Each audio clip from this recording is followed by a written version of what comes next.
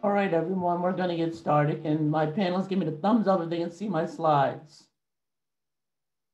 Thank you, thank you. So welcome, welcome to the Center on Race and Social Problems here at the University of Pittsburgh. My name is Jay Huguley. I am the uh, interim director of the center. You may know that the University of Pittsburgh is one of the national leaders among universities for anti-racist work for education and programming, addressing anti-Black racism, and our center is a big part of that effort here. Uh, we are supported by the Office of the Provost here, and we are housed in the School of Social Work, uh, one of the interdisciplinary jam, gems of, and a jam, but one of the interdisciplinary gems on our campus and pretty much any campus, and um, one of the top ranked schools in the country. So we're very happy to be with you today. This is the third of three sessions of our Fall Institute on Race, Politics, and Fighting Voter Suppression. And we had some big name speakers earlier in the day uh, that um, really address some key issues, a lot of the history of voter suppression, a lot of the history of race in the political parties, I would argue that this may be the most important session that we have today because we're, we're talking to experts on the ground that are doing this work day in and day out to address voter suppression and address the issues that, that our communities are facing, the Black community and other communities of color in particular. So very excited about that. Um, we actually have, I'm very, very honored to be joined by one of our great um, new colleagues here at the University of Pittsburgh, real rising star in inner field, uh, Dr. Josefina Bañales from Pitt Psychology and the Learning Research and Development Center. And she is going to be the co-host, co-moderator for this day to say a little bit about her. Dr. Bañales is an assistant professor in developmental psychology and the Learning Research and Development Center here at the University of Pittsburgh. Her research examines adolescents' critical racial consciousness development or how you develop beliefs, feelings, and behaviors that challenge racism. She investigates the extent to which social contexts, also known as racial ethnic messages from parents and schools, and individual social cultural factors like ethnic racial identity inform youth critical racial consciousness development. She's very interested in all these things impact students' uh, engagement and in civic processes and in justice-oriented processes. So she's a great fit for this panel, and she's going to help us to make it happen today. So Dr. Bañales, I'd like to welcome you. How are you today? Hello, Dr. Huguley. Appreciate the introduction, and likewise, super excited to, to moderate this session with you today. Great, great. So take it away. What, what, let me say a little bit about the process. We're going to introduce each of the speakers one at a time they're each going to take seven to 10 minutes uh, to tell you about their work and the significance of their work for the issues we're here to discuss. And then we'll save 20, 30 minutes in the end for Q&A. All right, so with no further ado. All right, so I have the pleasure of introducing Dr. McClendon. So Dr. Gena McClendon is the director of the Voter Access and Engagement and the Financial Capability and Access asset building initiatives at the Center for Social Development. Her work focuses on policy research analysts in consultation with community-based programs, ad- academic institutions, state and federal policymakers, and advocacy groups. Dr. McClendon's program development and policy advocacy work centers on issues related to voter suppression and civic participation of low and moderate income households and marginalized populations. Her research focuses on finding and advancing practice and policy strategies that support an inclusive democracy and the professional training of social work students with an intentional focus on race. Dr. McClendon earned a PhD in urban higher education from Jackson State University, received her Master of Management and Leadership from Fontbonne University in St. Louis, and a Bachelor of Science degree from Southern Illinois University in Carbondale. So without further ado, Dr. McClendon. All right. Thank you. Thank you for the introduction and thank you for the invitation to participate. Can everyone see my screen okay? Yes, is that a yes? Okay. All right. So um, I um, real excited uh, about this this entire topic because voting is it's just it's everything. So I've got a, a short clip that I want to show that sets the stage for the work that I do and, and why I do it.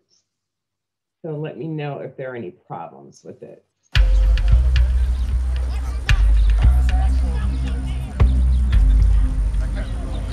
I love the vote.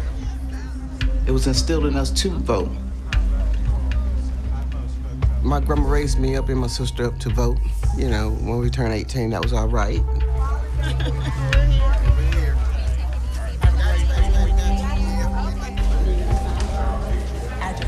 Um, the address when I registered was 7660 Bridgewood Circle. Okay. I'm gonna have to have you go and stand in that line so they can update you. Okay. All right. Next voter, please. Hello, Michael Evan Hires. If you'll just verify that your address and information is correct, and if you'll sign at the bottom for us, There you go. Thank you very much. I need a picture ID. I got an old one until I. Karen, is this your address? You're not doing a video. You got something with the address. She told me I could not vote at all because I got to re-register because I'm I'm nowhere in the system. They're not making it easy at all. It's it's tiresome. Yeah. Yep, we got to clean the rolls up one way or another. I happened to stumble across the Phantom Voter Project. I started looking at my neighborhood and started finding what I believe to be a bunch of fraudulent registrations and started investigating them. It's about time we turned the lights on in the kitchen and started cleaning the cockroaches out of here.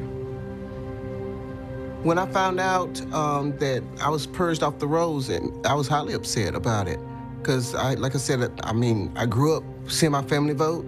I know it's my God-given right today to vote, and I want to vote. The board found probable cause to go forward on a total of 3,564 voter registrations challenges, all of which were submitted by Mr. Michael Hires.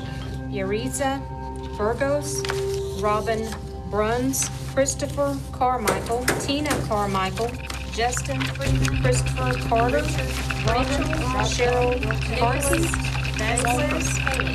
Again, that's 3,564 of those challenges the board found probable cause on to go forward. This is a big, you know, big win, really, as far as the numbers go. But good golly. This meeting is adjourned. So I'm, I'm going to stop there because I, I think you get the, the message.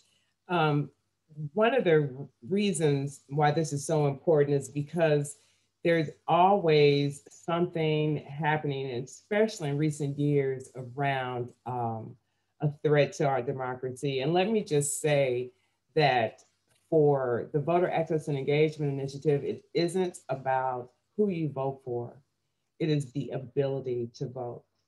It is having that right to vote. And um, so the another way that we kind of look at this is in terms of uh, democracy in crisis that's rooted in racism. So, you know, from voter suppression with targeted strategies towards Black and, and people of color, and the list goes on. But I want you to take a look at the couple of pictures over here on the side that, um, you know, if you think about it, there isn't any difference. This picture is prior to the voter, um, the, the VRA that passed in um, in 1965, but there isn't a, a, lot of difference between this and what's happening today. And so all of voting and everything is, is connected to all of this. And I just think that um, that is the, the basis for some of the work that we do. So in thinking about the Voter Access and Engagement Initiative, think of it in the words of, the, of um, um, Maya Angelou, rise. And so we do research to influence practice and policy. Uh, we believe that an inclusive democracy is important and talk about the threats and, and what are the opportunities to make sure that democracy thrives. Um, the S is for support of advocacy and engagement efforts to create a culture of voting. And then the third, is, uh, the fourth is engage and train new generation of voter protectors. And for us, uh, we're talking about social workers, or social policy or public health. Those are all the three programs that are at the Brown School at Washington University. These are a couple of the activities that, that we do along with the research. We do work with election protection and poll worker recruitment. We participate with national organizations. The picture on the right is a um, march that we had, a, we called it a Good Trouble Voter Awareness March that has happened in several, multiple cities under the direction of the Transformative Justice Coalition. And then we host webinars, um, we host other kinds of convenings to educate people, one of which was the, we do documentaries and have discussions about that. And then what I found is that it's super, super important to have a relationship and build relationships with the election, uh, local election authorities. So just a little bit about, we did a research project. So with, with, with anything, you have to start with a question, you have to start with research. And so we did a research project um, in 2018 where we worked with uh, the St. Louis City and St. Louis County election authorities. And we collected data using student researchers. We went through a whole recruitment process and um, and our hypothesis was simply this, that voting access at, at a, with a sample of St. Louis area polling sites in November 2018 differed by race and income. Why is that important? Because in St. Louis City and County, St. Louis, this whole area is very, very segregated. Um, and um, a concern was that, that voting was not equal in all polling places. So we selected 20 polling places, 10 in St. Louis City and 10 in St. Louis County. Now I'm saying the difference, St. Louis County, St. Louis City, the difference is, is that in most municip- most areas, there is maybe one county that encompasses the whole metro area. But in St. Louis, there's a county, St. Louis City is a county by itself, and St. Louis County represents um, the suburbs of St. Louis. These are the basic questions that we asked. Is our voting procedures and practices approximately the same in different polling places? So is, is everything equal when it comes to the like the voting process as well as the infrastructure? And again, um, to what extent are race and income related to the electoral process and access to voting? These, this is just a little sample of how we made our decision and, and what the statistics look like in the 20 polling places where we were. And then this is, uh, tells the story of our key findings.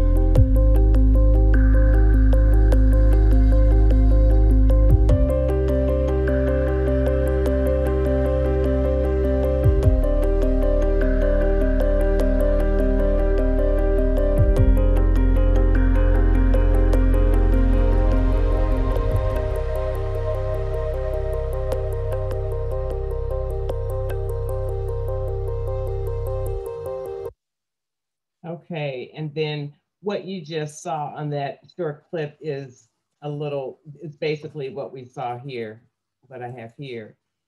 And, um, you know, one of the things that, that I have to point out is that um, while things may vary from poll place to, to poll place, sometimes it's not necessarily all the fault of an election authority.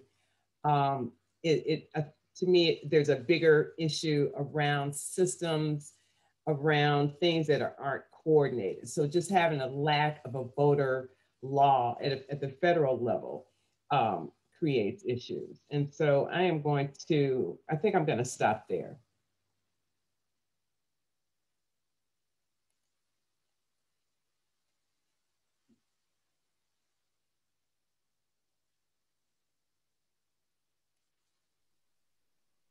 All right, thank you, Dr. McClendon. Um, I want to introduce our uh, our next speaker. Bhavini Patel is the CEO and co-founder of Beam Data, a civic tech company that operates at the intersection of social issues and data. Her company created Be the Change, a participatory civic action app that allows people to provide feedback on legislative issues and share community causes directly with their elected officials. In 2019, Bhavini was a candidate for Allegheny County City uh, Council, Allegheny County Council, District 8, and came in second in a competitive three-way race. In 2020, she was appointed to the Pennsylvania Medical Marijuana Advisory Board and also currently serves as a Biden delegate in the 2020 Democratic National Convention. As a Pittsburgh native, Bhavini volunteers her time on the board of several organizations, including the University of Pittsburgh MQE Advisory Board, Second Generation PAC, uh, the Bhutanese Community Association of Pittsburgh, and Civically uh, Incorporated. She earned her MPhil in International Relations from the University of Oxford. That's a pretty good school. As a Rotary Global Grant Scholar and a BPhil in International Area Studies from the University of Pittsburgh. Also a pretty good school. She has been recognized as a Rhodes Scholarship finalist and most recently 30 under 30 by Pittsburgh Business Times, 40 under 40 by Pittsburgh Magazine, and a finalist for the Athena Young Professional Award.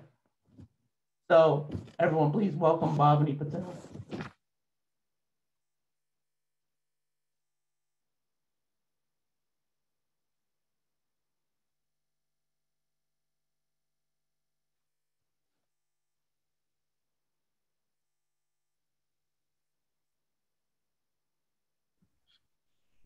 Hi, everyone. Um, thank you for that introduction. Um, as was mentioned, I'm the CEO and co-founder of Beam Data, which is a civic tech company that's based out of Pittsburgh. Um, and we really do kind of exist at the intersection of data, social justice, and policy. Um, we, we firmly be believe in the sort of transformative power of data and its ability to elevate and scale organizing and advocacy efforts to ensure communities that are oftentimes um, not at the center of different conversations when it comes to things like voter education or le legislative advocacy are prioritized. Um, and so we sort of do this work by providing community-based tools, uh, community-based tech tools that allow people to write the narratives of their own neighborhoods. And this sort of philosophy of why we believe this is important really kind of stems from my own personal race. Um, when I ran for Allegheny County Council and knocked on a lot of different doors, I very quickly realized that um, people people live in their neighborhoods and have very real and visceral reactions to the decisions that are made in their communities. They're oftentimes also sort of the holders of socioeconomic transitions, the ups and downs of what's going on in their communities. And there should be a better way for these stories and these narratives to be captured and allowed a space um, when it comes to decision making and um, policy building. And so, uh, what we realize is that it's it's the average person, right? The person who's a healthcare worker, the grocery store worker, the urban planners, artists, designers. They are really the experts of their communities, and we really wanted to capture this in the tools that we built at Beam Data, which is why we decided to go uh, forward with an idea called Be the Change, which is our core effort at Beam Data. And Be the Change is actually a civic action app that encourages year-round civic engagement and civic learning, as opposed to just um, efforts that we oftentimes see coming up during election time. We really try to create a sustainable uh, kind of infrastructure for people to stay informed um, on various issues that are happening um, at the legislative level. And so the way that uh, Be the Change works is that it connects you to your state legislators. So once you download the app, which is free for everyone to use, um, you can download the app and we request an address, whether that's your home address or the address of a community center. And based on the information that you provide, we basically tell you who your state representative and state uh, senator are and then uh, invite you to share different community causes in the form of legislative feedback or different neighborhood concerns that you, be, you might be noticing in your area we sort of do the, the organizing work of encouraging the elected officials to onboard with us. And so when that happens, what that means is that the elected official informs their constituency through various methods uh, that they're on this app, that they're responsive, but they also ensure that there's a legislative aid that's dedicated to responding to the different community causes that are coming through on the app, whether that's concerns around voter suppression, um, if somebody decides to use the app for that. Um, but there is a hotline that's that's that should be used to, to um, report those concerns, which I'm sure we'll be discussing sooner or later. But also questions about um, how to vote, right? There's been so many kind of open-ended uh, questions around um, mail-in ballots and naked ballots and things like that. And so there is somebody on the other end who would uh, provide um, resources to get the answers that you need for that. And so um, uh, this is sort of important to us uh, because we see that social media is oftentimes used as an opportunity or um, various platforms to communicate with our elected officials, and that can oftentimes turn into uh, divisive rhetoric in many ways. It, it can seem unconstructive um, and not necessarily leave people with um, avenues to take action and, and make positive change in their community. And so the way that Be the Change is built is that when somebody does share a community cause in their neighborhood, there's basically a public feed. So anybody can kind of see what's being shared in their um, in their areas and get a sense of what their neighborhood uh, and neighbors care about organizing around and they can upvote and downvote those causes um, and, and build momentum around the issues that they prioritize. And this is really important to us as a, as a team because we're really passionate about sort of um, democratizing data in a sense and giving advocacy organizations, nonprofits, and other sort of grassroots efforts the power and the momentum to take advantage of what data has to offer so they could be more efficient and organized um, with their outreach work. And so uh, I look forward to diving into this a little bit more during the Q&A um, and the discussion portion. But I, my sort of core mission and, and I guess what I want to kind of emphasize today is that there's a lot of really um, important uh, questions that need to be answered in the lead up to November. And, and um, I'm sure that a lot of those will be answered today. But I really hope that we can all consistently be thinking about you know there's so much energy and momentum that's built around this election cycle and ensuring that people have a place uh, in terms of when it comes to voting and feeling comfortable that they can do that and cast their ballot. But how can we also take this existing infrastructure this exciting momentum that we see this information sharing and ensure that we keep that going past November as well, that we really ingrain civic engagement and um, civic learning beyond November so that we can build long-term systems to ensure that people are part of the system, that their voices are being heard, and that they, um, you know, they have the information to be um, efficient advocates for their communities. Um, so that's that's a bit about that, and I'll uh, be sure to share more about the app in the the chat section as well. Thank you.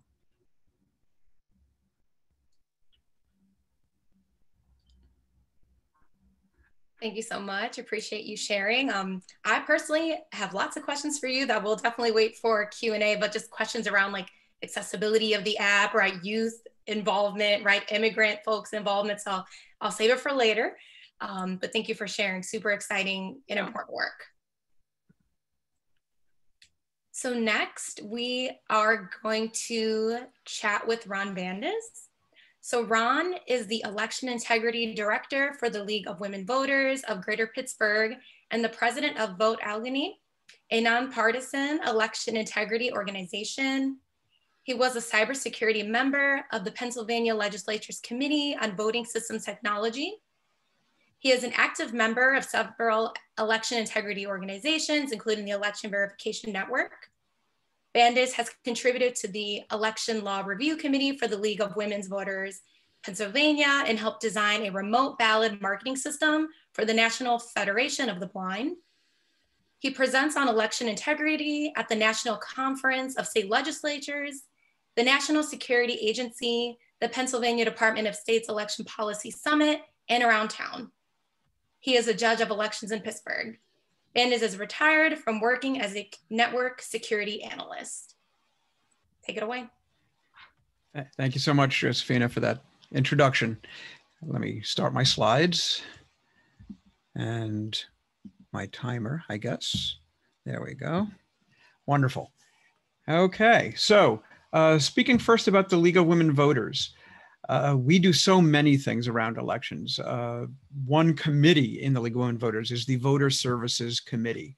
And we do a tremendous amount about disseminating information.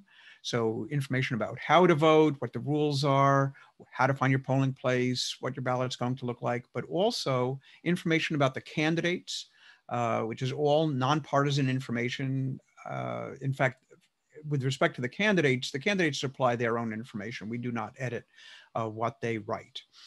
Um, but we also have uh, all, all, kinds of, of other information out there. Um, and we conduct candidate forums, which are uh, uh, widely appreciated, again, nonpartisan. And uh, this year, of course, that was very challenging. We had to do our candidate forums online. I think that the League of Greater Pittsburgh was one of the first leagues in, in the nation to uh, do that online. And we put a tremendous amount of time and effort into making sure that that would come off as smoothly as possible. And I, I think we achieved that. So let me proceed with my slides. Okay, so my approach here is going to be, I'm going to point out uh, amongst the procedures that are in place in Pennsylvania and particularly in Allegheny County, but with special emphasis on what can go wrong. So wherever you see red print on my slides, those are danger areas. They're, they, those are places where the voter could make a mistake or otherwise have their vote not counted. So there are three ways to register to vote uh, online by mail and in person in Pennsylvania, but that ended yesterday. So it is now too late to register for the November 3rd election. There are also three ways to vote, uh, in person on election day, by mail, or in person early at either the elections division office in your county or at a satellite location. And many counties, but not all, in Pennsylvania have satellite offices of the elections division office. So if you're voting in person on election day at your assigned polling place, you can find your polling place with uh, these tools here. The first tool I gave is only for Allegheny County, but it's a little bit better than the state tool. Uh, the second link uh, will work anywhere in Pennsylvania. In Pennsylvania, polls are open from 7 a.m. to 8 p.m., but if you are in line by 8 p.m., even if the line is long, even if it takes you till 2 a.m. to get to the front of the line, you get to vote. The danger is that the uh, poll workers may not understand that and may try to close the poll at 8 p.m. So this is one of the places where voters may need help. And I'll be talking about election protection a little bit at the end. Also, if this is the first time you're voting at all in Pennsylvania, or if it's the first time in a new election district because you moved to another part of the county or to another county in Pennsylvania, you will be asked for ID again, although it does not have to be photo ID. There is a long list of things you can use to prove your identity, uh, but there are some things that won't work. So a driver's license from Pennsylvania works, a driver's license from another state does not. There are many other examples. If you're voting by mail, um, you need to leave time for many transits through the mail system, sending in your application, getting your ballot, sending back your ballot. There is no longer time really for all three of those things to happen. So it's going to be difficult to vote by mail at this point. But you can also vote in person early, which is on my next slide. But voting by mail or voting early in person, which really is voting by mail without the mail, uh, have the same uh, danger areas. So one is that you need to make sure you got the right ballot. Allegheny County recently uh, sent out the wrong ballot to almost 29,000 voters. And I just learned today that some of those voters uh, that got their new ballots, they all got new supposedly corrected ballots, but apparently some of those are wrong as well. Uh, it's necessary to mark your ballot correctly. We use hand marked paper ballots in Allegheny County and in many other counties of Pennsylvania. All Pennsylvania counties are now using paper records or ballots. So in some counties, you'll never touch your ballot. You mark it on a machine, but it does create a piece of paper.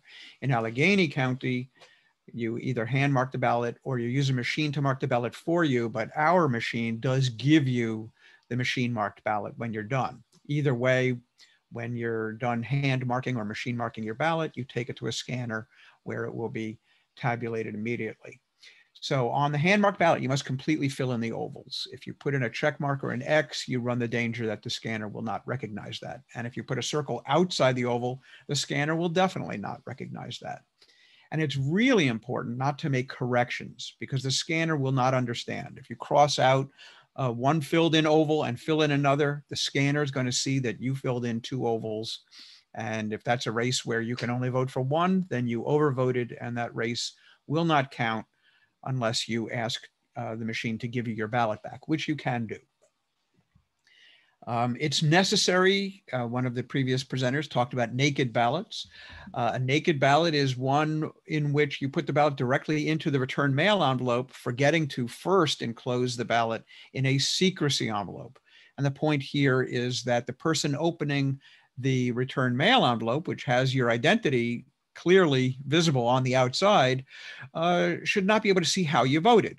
So when they open the return mail envelope, all they get from inside should be a secrecy envelope. That goes into a stack of secrecy envelopes. Another another uh, official opens the secrecy envelopes, and they can see how you voted, but they don't know who you are.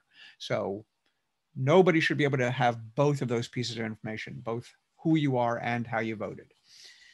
So the uh, Pennsylvania Supreme Court recently upheld the Pennsylvania law saying that uh, ballots not ensconced in a secrecy envelope will not be counted. So this is a danger area. You also have to remember to sign the return mail envelope and you have to get it back in time. Uh, applications for uh, mail-in ballots are due in one week, October 27th, which again, there's time to do that at the office. There's not really time to do that through the mail anymore. And the ballot itself must be turned in or postmarked by November 3rd. Uh, that's this year only.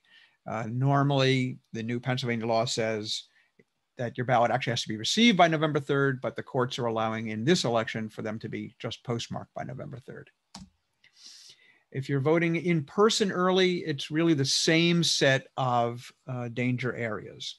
So you go to uh, the elections division office or a satellite office, and you do everything you would have done through the mail without the mail. So you can do it all in one visit. Apply for your ballot, get your ballot, mark your ballot, turn, and submit your ballot all in one visit. But it still needs to be enclosed into envelopes. We have satellite offices in Allegheny County. Uh, we've had them for just three weekends. One of those weekends is still coming up. The other two weekends I've crossed off because they are in the past. And so I've also crossed off the satellite locations that will not be open on that third weekend. You can also, as I say, vote uh, either over the counter, doing the whole process, applying for the ballot, getting your ballot, submitting your ballot all in one visit in the uh, elections division office on the sixth floor downtown, or you can go to a satellite office um, I'm sorry, not satellite office. You can go to the lobby of the same building, um, and there you'll be able to turn in ballots. But you have to go upstairs to the sixth floor if you want to go through the whole process. But if you already got your ballot through the mail and just want to turn it in in person, you can do that in the lobby and not even have to pay for parking and worry about a parking ticket. You'll be in and out in a flash. If you make a mistake on your ballot, as I started to indicate earlier, um, you cannot uh, just cross out one filled in oval and mark another. The scanner will not understand. It's necessary to exchange your erroneous ballot with a fresh ballot, which you can do either at the elections division office. Um, actually, I think you can only do that at the election division office early or on election day, you can do that at your assigned polling place. Satellite offices are not prepared to, uh, to do this. And once again, if you are going to uh, exchange your ballot on election day at the polling place, and I think even in the office, it is necessary to not only turn in the ballot you incorrectly marked, but you must also turn in the return mail envelope that identifies you and has a barcode just for you. And if you don't do that, if you bring in only the ballot, you will not be able to exchange your ballot for a fresh one and on election day, you would then be able to vote a provisional ballot, which will be counted once they see that you did not return a mail ballot, but it will not be counted for a week after election day. So again, if you don't have your ballot for any reason, if you never received it even, even though that's not your fault. If you never received your ballot, but one was sent to you, you cannot vote a regular ballot and, and put it in the scanner on election day at your polling place but you uh, could vote a provisional ballot. So once again, provisional ballot uh, is set aside until they can ensure that you did not mail in a mail-in ballot, and then they will count it about a week after election day. So there's a lot of talk about poll watchers and particularly poll watchers who mean to disrupt uh, operations at polling places. And we are fortunate in Pennsylvania that our state constitution does not allow just anyone to be milling around inside our polling places, that you do have to have a poll watcher certificate in order to be uh, an observer inside the polling place. So that mitigates that problem somewhat. We did get robocalls with false information about um, uh, uh, telling people that uh, uh, telling people that if they go to the polls and have outstanding debt or outstanding warrants, they'll be arrested at the polling places. This is patently false. It's intimidation, and we can't have it. So if you have trouble with any of these things, the thing to do is to call 866 Our Vote, which is a non-profit, nonpartisan coalition of organizations, including the League of Women Voters of the United States where you can uh, make complaints and they not only can guide you, but they also can call the county division of elections and help to straighten things out. And they have a cadre of lawyers on hand to do that. And you see here that we also have phone numbers for people who don't speak English. And we also have some special election protection hotlines for voters with uh, special needs. So there's one for people who uh, cannot hear and uh, can reach somebody on a video call to get assistance with American Sign Language and also person who is running into problems due to their disabilities. Maybe their polling place is not handicap accessible and they can call the Disability Rights Pennsylvania for assistance with that. So thank you so much.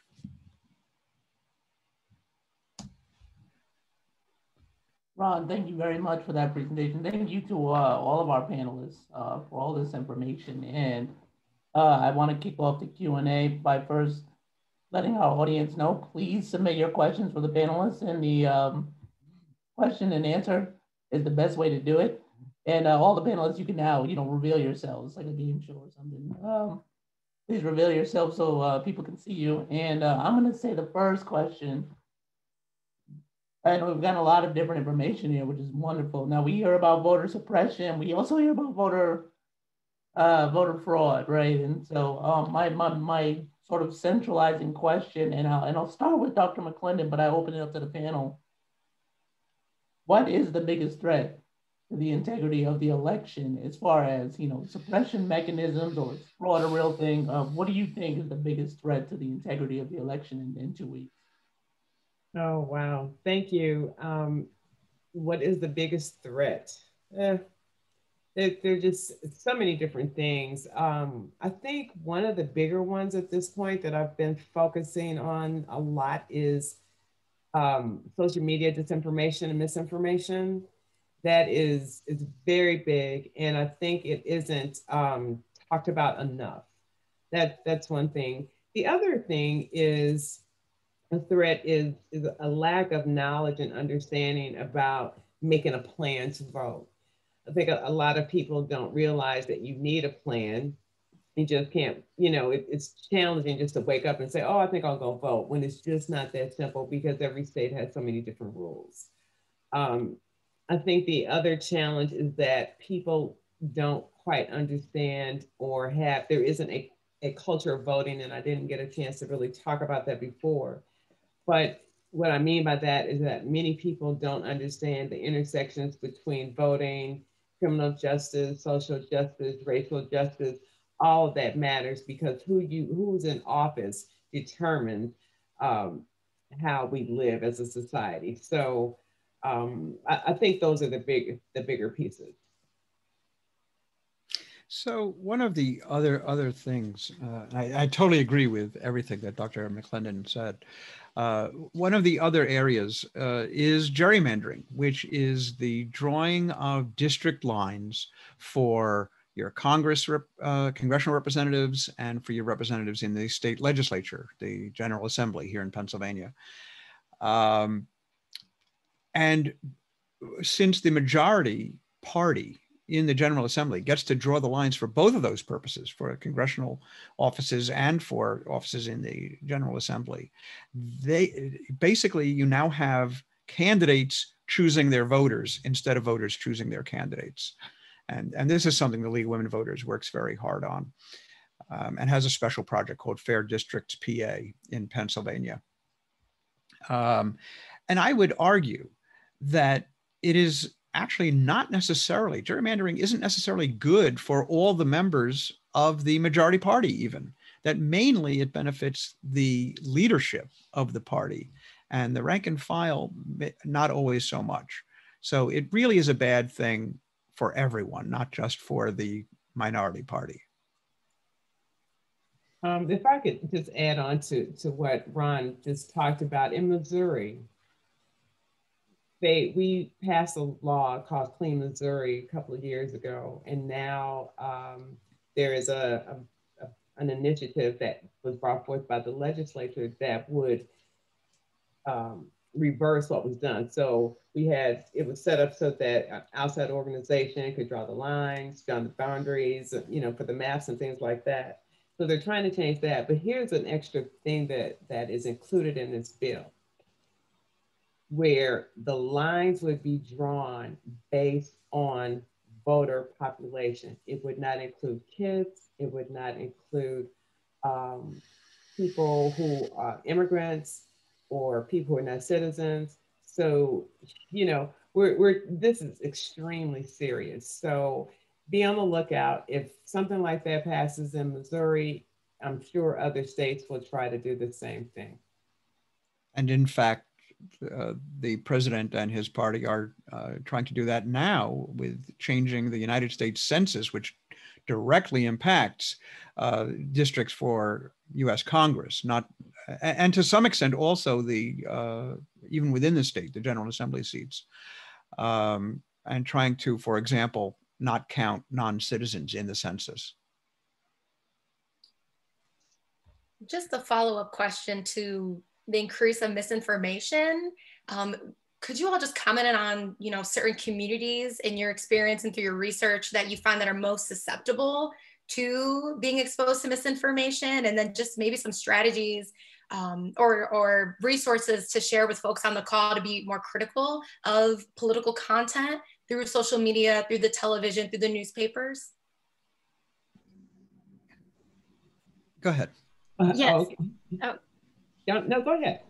Thank, you. thank you. Yes, I, I think a couple of things that I've noticed. I, I think to Ron's point about the census, that's really important as well. I mean, I've had personal family members who have had people doing door-to-door canvassing to do, you know, to, to get out the, the count um, towards the end of the days. And there were concerns just about, um, you know, are these immigrant uh, immigration officers that are trying to knock on our door and get our information? You know, how is this how are they going to take the documents that they're recording about our family household numbers, et cetera? Where are they going to be used? And I think a lot of that actually does come from the information that's been perpetuated in the news and seeing our president talk about these these sorts of things in in, in ways that um, is elicit fear.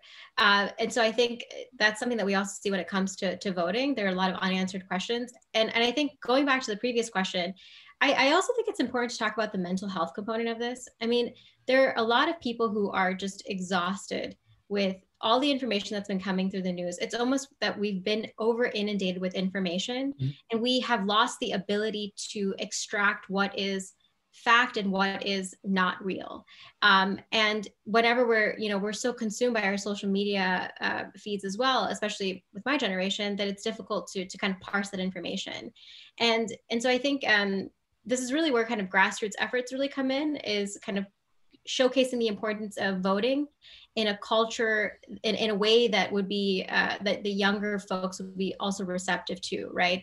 That your vote does matter and here are the implications of not voting and here's how it can help you accomplish the goals that you want to accomplish. It's really difficult i think to keep that energy and that momentum high especially when you feel like even if i try to vote there's somebody that's going to be there that's going to try to repress my ability to vote. So why should i even try? That's i think a lot of the kind of feelings that are going on in some of these communities um, and we still feel that and we're so close to election day. You know here in pittsburgh i think that actually perhaps uh, counter uh, to what many people's expectations might be when you you asked about which communities might be uh, most severely affected. But I, it, it, it's my experience that in Pittsburgh that the Black community is actually one of the most informed communities. That they have some wonderful organizations here, like the Black Political Empowerment Project and the NAACP, that are out there on the front lines, making sure that uh, that people are well informed. Thank you all for those responses. We have a question from the audience. Can I drop my elderly mother's filled out ballot at the elections division office downtown or one of the drop boxes outside a regional voting center? Or do so, I, yeah, go ahead. Yeah, so so the short answer is uh, you're only supposed to bring your own ballot to the uh, elections office or to a satellite office. However, uh, for a person who has a disability or illness that prevents them from delivering their own ballot, they can make out a bit of paperwork to designate an agent to deliver their ballot to the office. And you should be able to find that form on uh, the Pennsylvania Department of State website, votespa.com.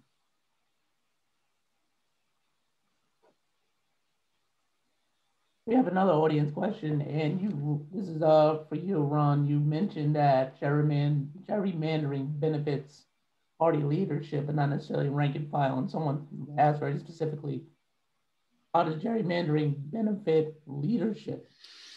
Um, I, I, knew I was going to get in trouble with that one because gerrymandering is actually not my specialty. Um, we have lots of people at the league who are much more knowledgeable in it than I am. But of course, it's the leadership that really gets to draw the lines, right? I mean, they're they're going to create the map. They're going to tell the members of their own party which way to vote, right? To vote for this map, and so they get what they want. And so, uh, so in gerrymandering, there are two basic strategies, cracking and packing. And the idea being that either you find a concentration of a group that you don't want to have power and you crack that into several districts so that they don't have a majority voice in any of those districts. Or if you can't completely make sure that uh, a group is voiceless, then you give them one district because you're going to have to give them at least one. So you give them one and you pack everybody you can from that group into that one district so they don't have a voice in any other district.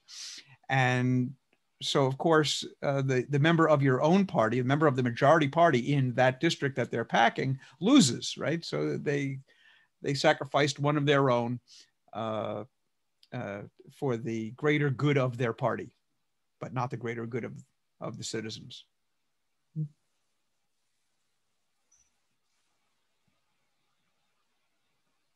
A question for Bhavini. When you think about the when you think about technology and the future of technology in voting, I know you you created technology uh, to engage voters to advocate for voter rights. Do you see technology playing a bigger process in the voting process itself? We've had someone this morning advocate for voting via cell phone. Uh, what do you think are the possibilities in that realm? I think that technology has a big big role to play in terms of voter education and kind of getting out the vote. I think that that's kind of where I see a lot of existing startups playing a big role just in terms of providing um, ballot information. So like, you know, if you are a voter and you're a nervous voter, but you want to know what your ballot's going to look like ahead of the time so you can make a game plan, there are new startups that are actually doing that where you, they, they basically find the voter the, the, guides of what their actual ballots will look like across the country. So you can download this app and get that information and make a plan and, and understand what's going on. I also think that it's it's important to consider the lead up to the vote right? So do you know how your government's functioning, right? Do you know who your state legislators are? Are you engaging with them? Are you staying up to date on the legislative process? Are you understanding the different issues that are being uh, taken up in, in Harrisburg, for instance? And as Ron was talking about, there, you know, there are going to be a lot of different legislative bills that are going to be coming up when it comes to redistricting and how those committees are going to be formed and how those decisions are made. I think that technology has a big role in terms of um, almost mitigating and combating that misinformation that we see on social media it's it's almost about thinking about how we can take a subset of conversations that are happening on social media and put them in a more constructive environment where people actually are called to action um, and and to to be stronger advocates for their community and so, yes, I mean, I think that there's a lot of work to be done, but I think that there are a lot of um, innovative companies here in Pittsburgh that are working towards these goals and that there's a lot to look forward to. Yeah, uh, if I could quickly also, uh, technology can be very useful also in election protection. So I know there's one group creating a, an app right now called CSAY that uh, similar to an app that the ACLU has had for years, not just for voting, but uh, in general, where you can record uh, an incident happening, you can file a report easily uh, from your cell phone. So technology could be very useful for that. As for internet voting, uh, that is voting through your cell phone or other internet attached devices. Uh, it's a perfectly awful idea. Um, uh, for so many reasons. Um, you know, people say, well, I, I do banking online. Let me tell you that the security challenges in voting are much greater than the security challenges in banking. There are no receipts, there's no insurance. Uh, there's just lots of problems. The device you're voting from is not owned by the elections infrastructure, right? It's owned by individuals and it might be in any condition whatsoever, including badly infected with uh, malicious software. Appreciate those comments and thoughts. Next question, gearing towards more of what you mentioned, Dr. McClendon, in your um, presentation, you presented some compelling data and compelling maps on how race and income intersect and is relating to access to voting. So we were hoping if you can share your thoughts on how voter suppression um, is alive today and across racial lines and how you've seen voter suppression evolve throughout the decades.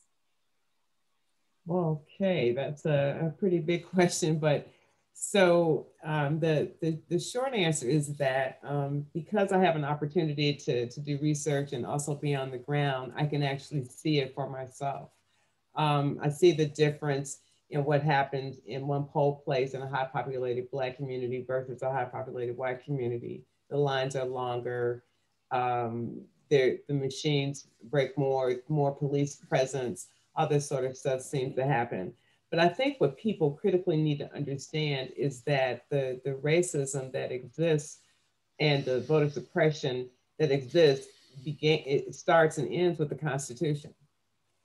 You know, from from the moment um, the Constitution was ratified, voting was only permissible for white males. And then when you look at the 13th and 14th and 15th and 19th amendment, you know, amendments, those are all things that are tied to to being able to vote. And and so it, all of this stuff is always sort of coming trying to fix a problem that if it was just in the constitution in the first place then it, it wouldn't be as much a, a of an issue.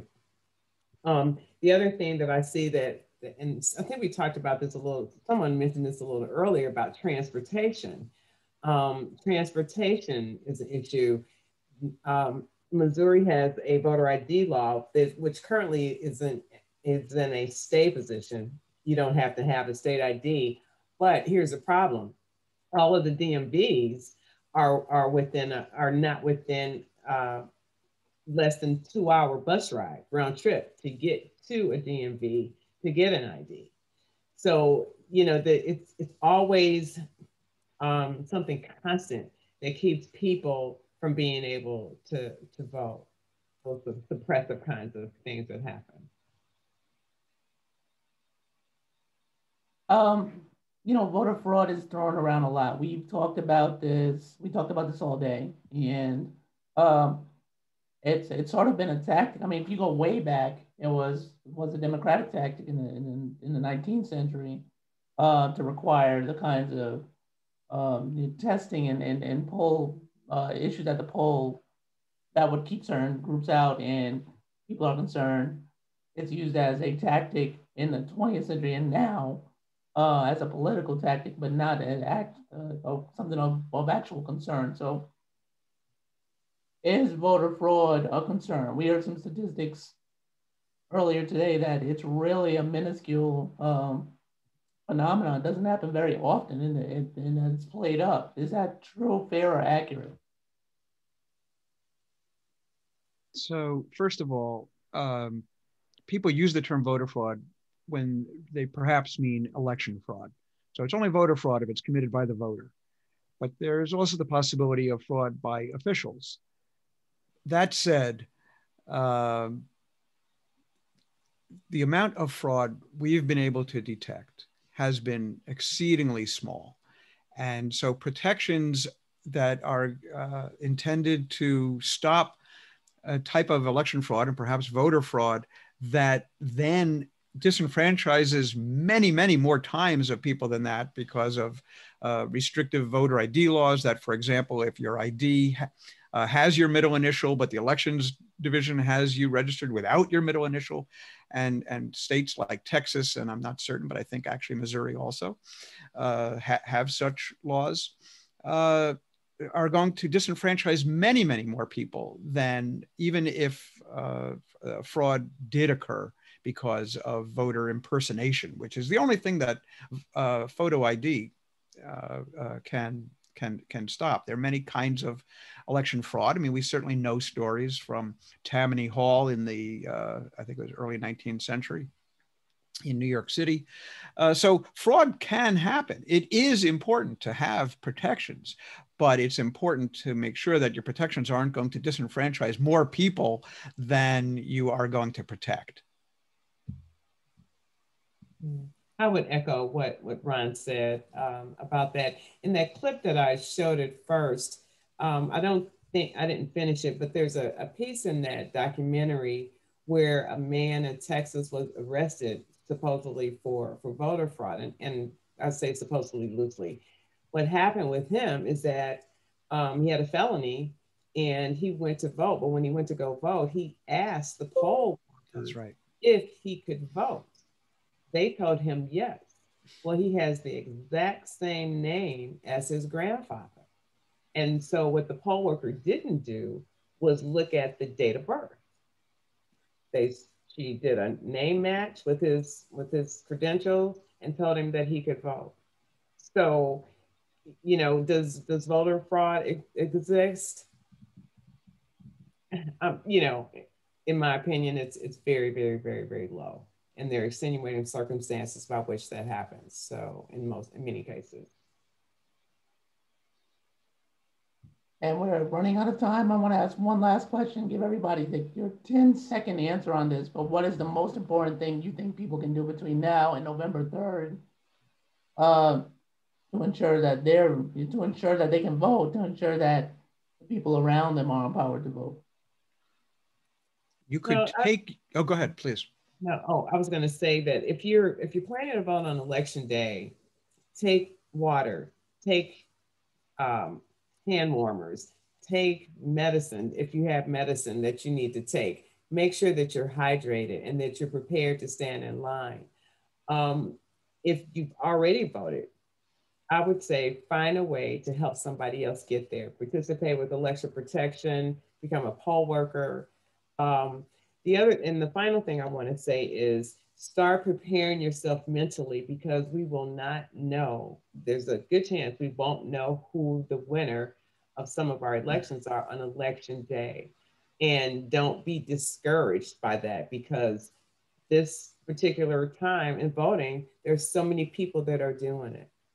And so, you know, it, it's important for you not to be confused or disillusioned because we may not know the outcome of the election on November 3rd.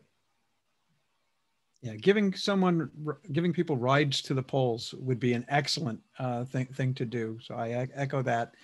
Um,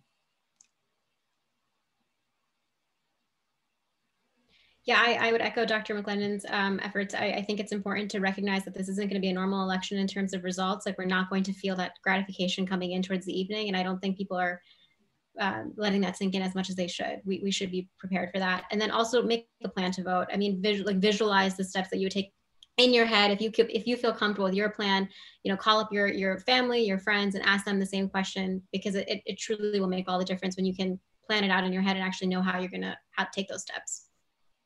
Right. On that note, we are out of time. I want to thank our fantastic panel, um, Dr. McClendon, Bhavini Patel, Bhavani Patel, sorry, and Ron Bandes.